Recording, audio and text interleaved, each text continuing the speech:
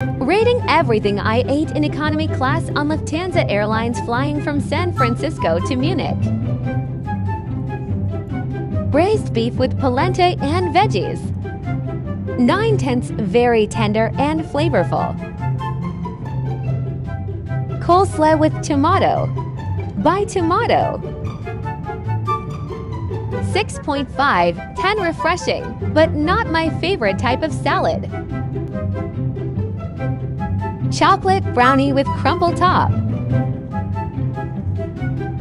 7 tenths pretty good, but just a little dry. Breakfast time. Eggs with tomato sauce and potatoes. 8.5, 10 my favorite egg breakfast combo. Fruit cup. Automatic 10 tenths every airline should serve fruit.